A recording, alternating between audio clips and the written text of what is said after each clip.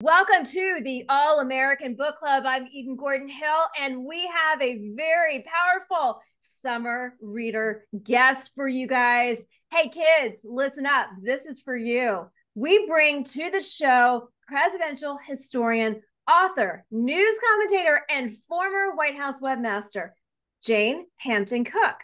She has released a whole new patriotic children's book series for Memorial Day. And as we head into Flag Day, June 14th and July 4th, obviously all of the patriotic holidays. But hey, families and those sitting around the kitchen table, put down your phones because we are going to talk about these very powerful books. I have been able to read some of them, see the beautiful illustrations, and see America and the understanding of the flag, America the Beautiful, the Pledge of Allegiance, My Country Tis of Thee. It comes to life for the reader. It comes to life for this generation. So let's welcome to the show Jane Hampton Cook. Thank you so much for joining this morning. Thanks for having me. Absolutely. Like I said, your books are stunning. Like I told you before, I've already ordered some and sent them to my godson, my godkids. I can't get enough of these books. They're so stunning.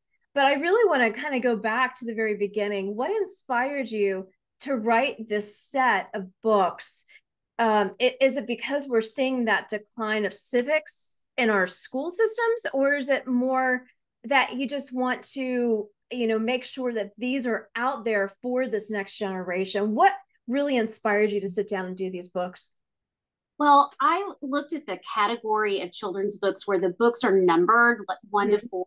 So I'm yeah. reading, looking through them, and on Amazon, and I realized there just weren't any that were about the flag. There were a couple Amer- American history oriented books, one on Ben Franklin, one on mm-hmm. Alexander Hamilton, but that was it. It was mostly princesses and animated characters, mm-hmm. which is all fine and good. But I just felt like there was a need because we have seen this decline in patriotism. Yes. And I that there was a, a need to put into the marketplace a set of learning to read type books that are numbered based on reading level, but that are that are about the flag and about mm-hmm. the pledge flag and these patriotic songs. And so, um, and to to do it with really beautiful art mm-hmm. and bring to life the lyrics, you know, of America the Beautiful. And mm-hmm. so that's I want this generation to um, mm-hmm. get they deserved, which is to be taught the truth about our country and to be to learn about the flag um, and you know, I remember when my three son was three, my youngest son was three, and my dad would hold him and he'd point at red, white, and blue, the flag, you mm-hmm. know, and just teaching this just the basics, you know. Yes. stars on our flag. Yes. You know, big, it can be tall, you know, and just to really help engage children into you know the the beauty of our of our cultural nation's heritage Right.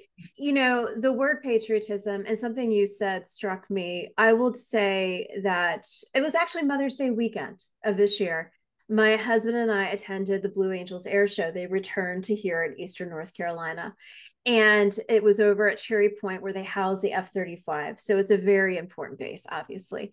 And there was more than 80,000 in attendance at the Saturday event. And the point of reference is it was Mother's Day weekend. So they could be off traveling, doing whatever, but they were at this air show.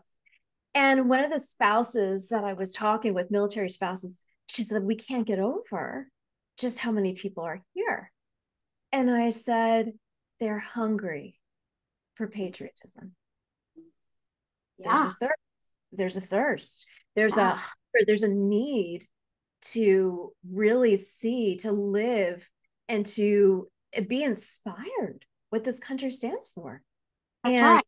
Yeah. And I and you and I'm going to say this to you, you were bringing that out in your books for this next generation. So talk to me about age groups because obviously I sat there and read them and I loved them and I'm like, oh, a second, I know that. That's cool. But I mean, obviously the age group is for a younger group, but let's talk about that. Do you mm-hmm. let's talk about the series? Let's go through the series and talk about the age groups. Okay. So the first book in the series is called My American Flag. It's got a number 1 on it. And it's for a, I would say 4 to 6 year olds. You, you know, 7 would be fine too, but it's got some rhyme in it. Mm-hmm. It's just you know, it's my American flag. It can be big, it can be small, it can be low, as in half staff, it could be tall, you know, maybe on a mountain or the top of the flagpole.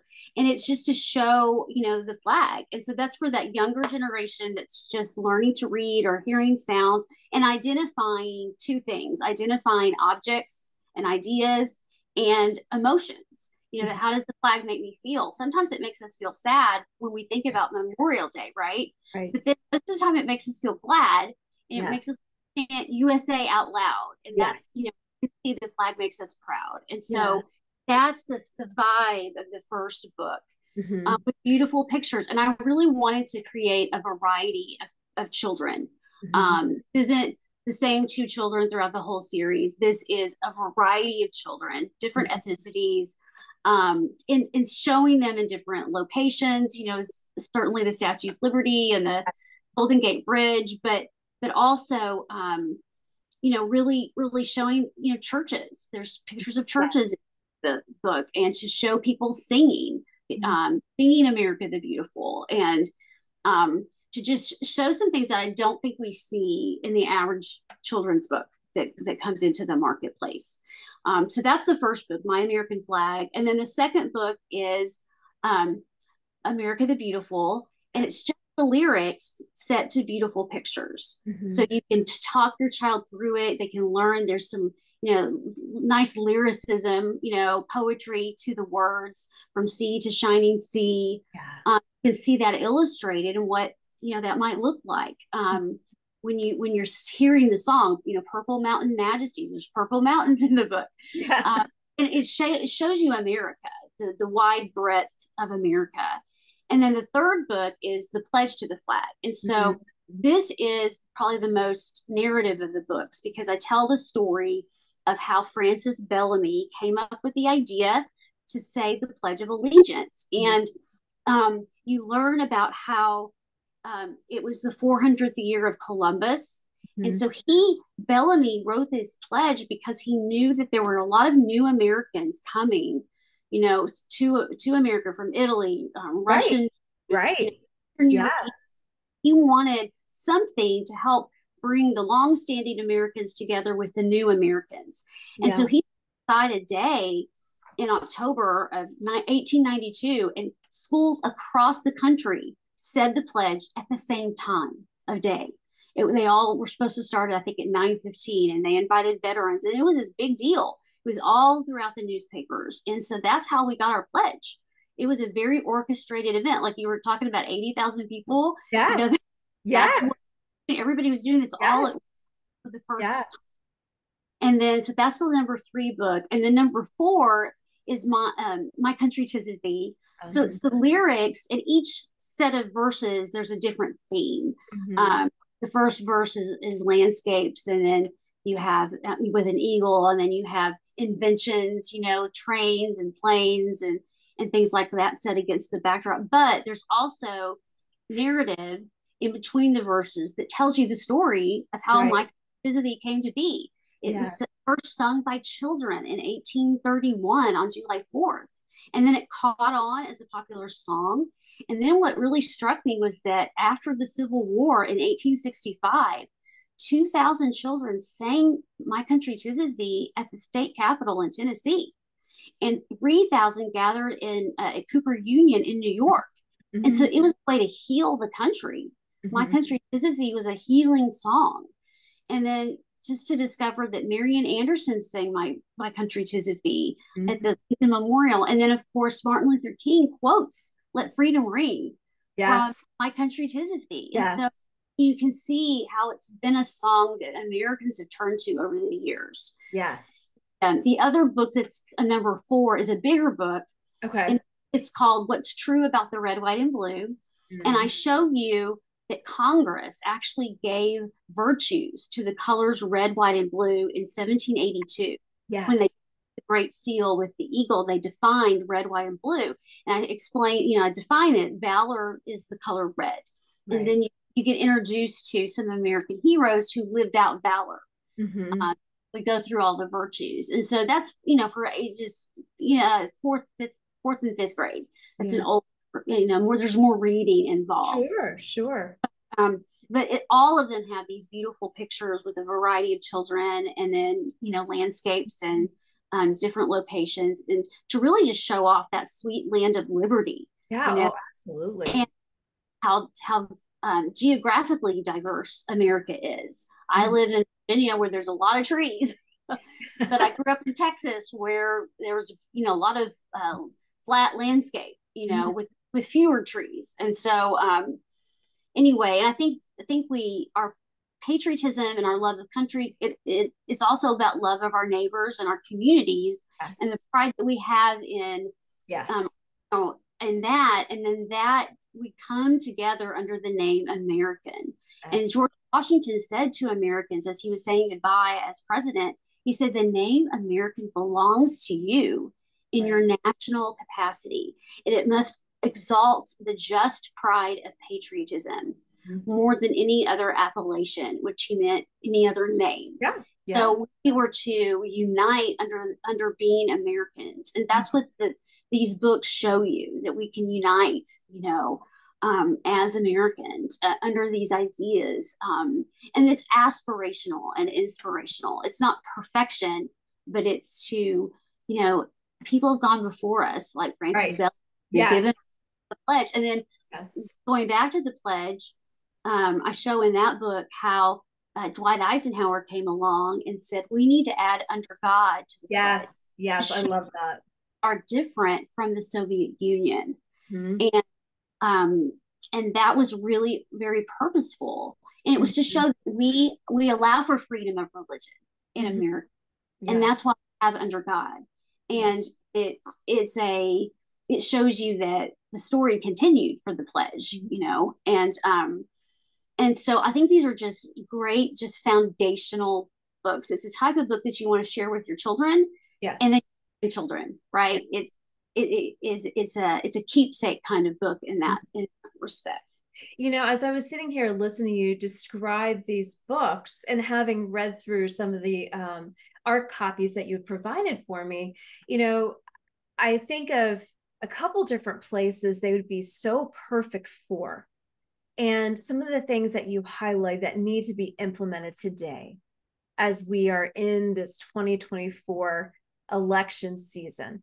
Mm. And I sat there and thought these books would be great in our military USO offices, in mm. our service organizations, in um, working with the military kids, because these are great for them. And this is the kind of world that they're in all the time. And mm-hmm. then also your museums your um, military based museums as well. And another thought is, oh, I don't know, maybe we put them back in the public school systems and actually back at the university level and re educate these kids mm-hmm. who may have not even got this. Who, yeah. you know, I mean, you have, you know, the CRT and the DEI are going to die, ladies and gentlemen, but this is what is bringing life to our nation. It's given life to our nation and it's going to give back the life to our nation. But we need to stop erasing it and mm-hmm. you know re-educating and changing the hearts and minds of our like you said our neighbors sitting on the front porch reading it to our kids actually sitting down at the kitchen table. This show is based on common sense kitchen table discussions and uh, you, you and I both know that most of those decisions happen at the kitchen table or in the car as we're feeding and eating and going. And, you know, I just sit there and say, this is an opportunity for us to be that testimony of God, country, and family through the power of your books. Even for this young generation, same thing for the older generation. It's a great reminder. And one other thought I had, you inspired me and that is let's get our precious veterans back into the public schools, leading the Pledge of Allegiance, maybe saying a prayer, putting prayer back in those public schools, and really, you know, impacting it's lifting our veterans up and it's inspiring a new generation for this country. Yeah, that's a great idea.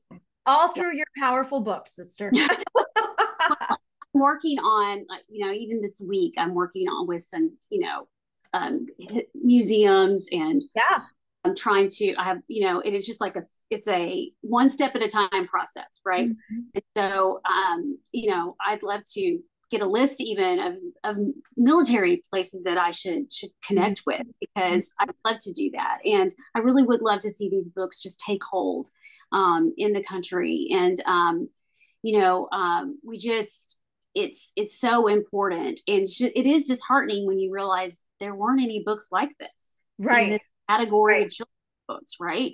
Yes. And so, um, and so this current generation has missed out on, you know, that opportunity. Mm-hmm. And you know, it's also given me a chance. I, um, I, I kind of honed in on just the realization. Like last year, there was a, a school in California that wanted to change their mascot away from the Minuteman because they mm-hmm. didn't think the Minuteman could relate to you know students of different ethnicities right and then I found myself sort of screaming at the, the TV because I know that there were Black Minutemen, and one of them was named Peter Salem, mm-hmm. and and so to be able to picture that too, just yeah. to include that imagery to show how um, Peter Salem and his the guy that freed him from slavery fought side by side at the Battle mm-hmm. of Concord, mm-hmm. and then Salem served I think four to six years in the Continental Army. Mm-hmm. Um, he was at he crossed the Delaware River you know, with Washington. And so just to show an accurate version too of, of history and that, that, um, you know, people to, to, to not only reflect today's ethnicity and yes, yes, but just, oh, hey, we actually were pretty diverse from the beginning. Yes. And that these men were putting their lives on the, um, and they were fighting together. Um, Absolutely. Um, and, and that we, that was the genesis of the of of our country and how you know we've become a more perfect union over the years by refining mm-hmm. um, and and to and to show that you know through the through beautiful images and yeah. to the children don't tend to see color like we no, do they, no, they, they just don't. really don't and so um i think that they'll just be able to relate to the kids in these pictures mm-hmm. and to see themselves um yes. beautiful pictures well on the final note as we wrap this powerful segment, I want to send out a note to our audience because this show airs obviously podcasts, live streaming across the nation, but also in our nation's capital. So we have a lot of military bases in Virginia, DC, Maryland, Pennsylvania, and then obviously North Carolina, South Carolina. So many people who are tuning in in just that cluster, uh, there's a ton of military bases. So is there a way people could reach out to you if they say, Hey, I heard your episode. We want to help you with a military base. How can we connect you? What's the best way for them to connect with you? Uh, well, I'm I'm I'm at Jane Hampton Cook in social media. Okay. Um, but I also info at janecook.com okay. is contact email through okay. my website. Um, and that that's a way to connect with okay. with me through that process. And so yeah, you know, we just, we've got two years before we turn 250 years old as a nation. Mm-hmm. And that's the name of the series, Revolutionary Readers for America's 250th birthday. And that um, we've got some time here to yes. get this out and um, help people feel feel good about their country because they have every reason to do so. Absolutely. And to inspire and enlighten and lift up and yeah. to come as Americans.